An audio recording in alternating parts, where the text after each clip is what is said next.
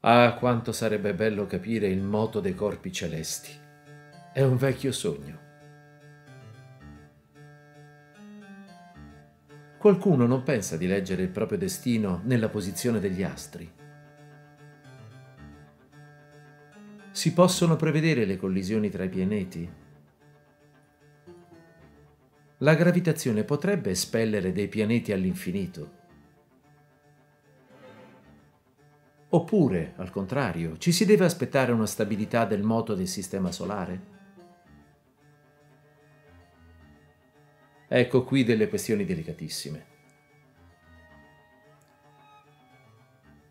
Come sempre in matematica, di fronte a un problema troppo duro, si cerca inizialmente una situazione più semplice.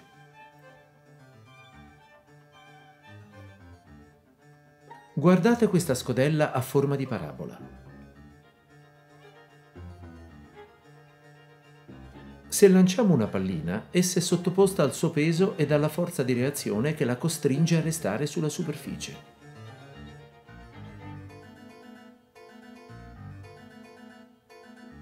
Vediamo che il problema è analogo a quello di un pianeta attirato dal Sole. Il moto sembra troppo regolare per assomigliare ad un sistema solare complesso con molti pianeti.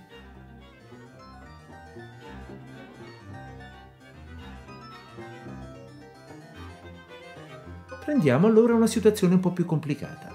La pallina è sempre sottoposta al suo peso e alla forza di reazione della superficie. Il moto è veramente complicato.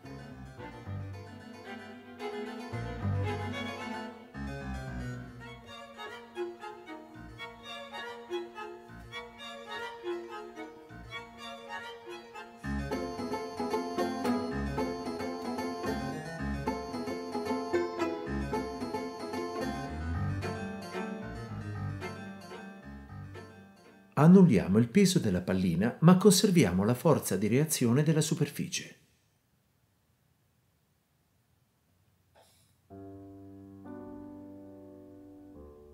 Ascoltiamo piuttosto Pierre Duhem, il filosofo della scienza, presentare i lavori del matematico Adamard, pubblicati nel 1898, in un articolo dal titolo Sulle geodetiche delle superfici con curvature opposte.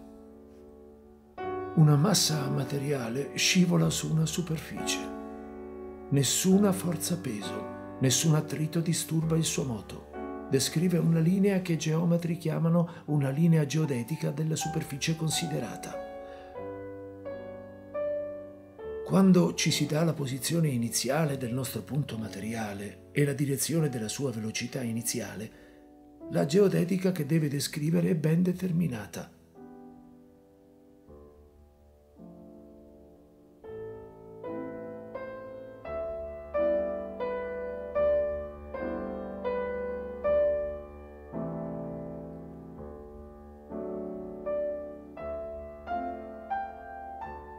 Immaginiamo la fronte di un toro, con le protuberanze da cui partono le corna.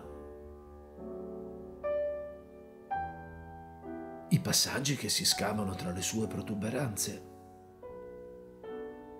Ma allunghiamo senza limite queste corna, in maniera tale che si estendano all'infinito. Avremo una delle superfici che vogliamo studiare.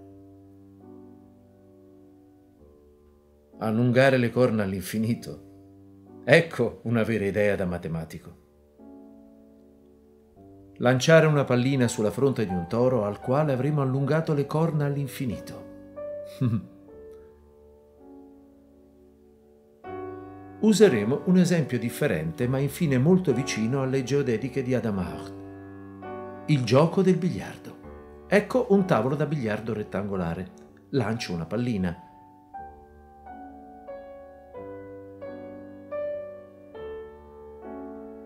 poi un'altra, quasi allo stesso modo. Troppo semplice. Le due palline seguono traiettorie vicine.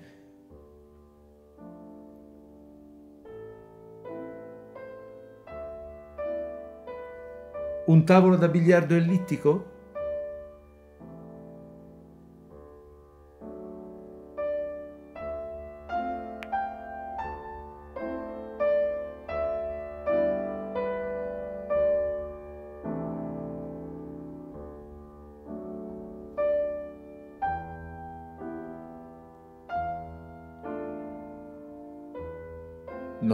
Ancora troppo semplice. Qua ancora, due palline che partono con delle condizioni iniziali vicine hanno delle traiettorie che restano vicine. È un po' come se osservassimo le geodetiche sulla fronte di un toro che fosse senza corna. Introduciamo un primo corno, un cilindretto. Guardate adesso due traiettorie vicine.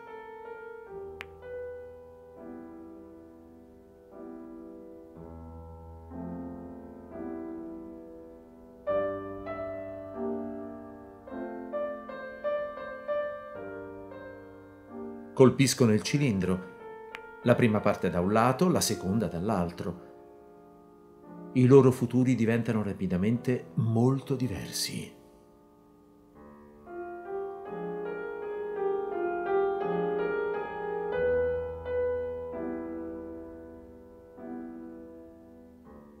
Ecco un piano infinito dove delle palline possono scorrere senza attriti. Su questo piano ci sono tre ostacoli circolari, Chiamiamoli A, B e C. È un po' come se osservassimo le geodetiche su una superficie con tre corna. Mettiamo una pallina e lanciamola. Se si prende bene la mira, la traiettoria può colpire A, poi B, poi C, poi A, poi B, poi C, eccetera. Una traiettoria periodica triangolare. Ci sono altre traiettorie periodiche? Adamar dimostra un magnifico teorema.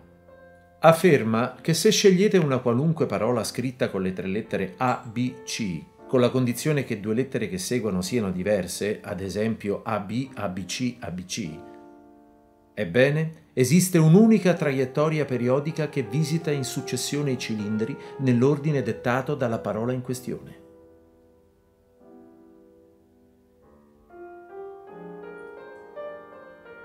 Vedete la complessità della situazione. Per ogni parola c'è una traiettoria periodica ed esistono molte parole. Per esempio, la parola AB, CB, CB, CB, CBC è una traiettoria che sembra giocare tra B e C e che, un rimbalzo su 11, va a colpire il cilindretto A. Ovvio, bisogna prendere bene la mira, molto bene.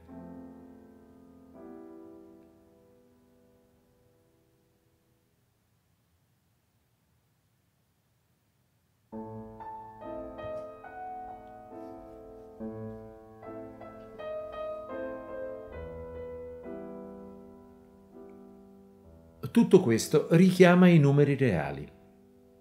Alcuni di essi hanno una scrittura decimale periodica, sono i numeri razionali. 123 fratto 999, per esempio, è 0123, 123, 123, eccetera. E 2 fratto 7 è 0,285714, 285714, 285714, eccetera. I numeri irrazionali, quanto a loro, hanno una scrittura decimale che non è periodica, pi greco, per esempio. Ebbene, per il nostro biliardo è lo stesso. Alcune traiettorie sono periodiche, sono descritte da una parola periodica nelle lettere ABC. Altre sono descritte da una parola infinita non periodica. Ed infine altre ancora visitano ABC un numero finito di volte e poi vanno all'infinito senza più tornare. Osserviamo il toro di Duhem. Per prima cosa ci sono delle geodetiche che si chiudono su loro stesse.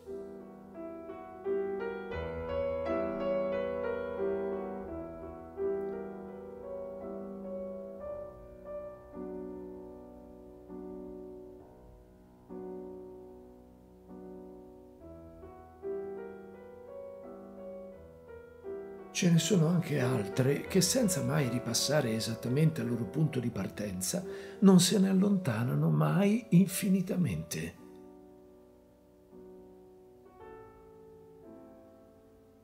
Le une girano incessantemente attorno al corno destro, le altre attorno al corno sinistro. Altre ancora, più complicate, fanno alternare, seguendo certe regole, i giri che descrivono attorno ad un corno con i giri che descrivono attorno all'altro corno. Sulla fronte del nostro toro ci saranno così delle geodetiche che se ne vanno all'infinito. Le une si inerpicano sul corno destro, le altre si inerpicano sul corno sinistro.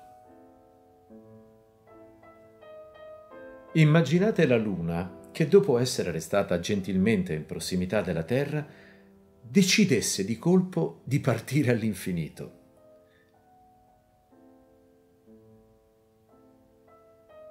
Malgrado questa complicazione, se si conoscesse con un'intera esattezza la posizione iniziale di un punto materiale su questa fronte di toro e la direzione della velocità iniziale, la linea geodetica che questo punto seguirebbe nel suo moto sarebbe determinata senza nessuna ambiguità. Sarebbe tutt'altro se le condizioni iniziali non fossero date matematicamente, ma praticamente. Apprezzate la sottigliezza, non matematicamente, ma praticamente. Guardate queste geodetiche che partono quasi nelle stesse condizioni per un bel po' seguono quasi lo stesso cammino e poi si separano. La geodetica verde, rossa e quella blu hanno dei futuri totalmente diversi. Se dunque un punto materiale viene lanciato sulla superficie studiata a partire da una posizione geometricamente data, con una velocità geometricamente data, la deduzione matematica potrà determinare la traiettoria di questo punto e dire se questa traiettoria sia lontana o no all'infinito. Ma per il fisico questa deduzione è sempre e comunque inutilizzabile. Per il momento tutto ciò riguarda le geodetiche e le traiettorie del biliardo. Può ciò applicarsi nella vita di ogni giorno? Per il moto dei pianeti, ad esempio.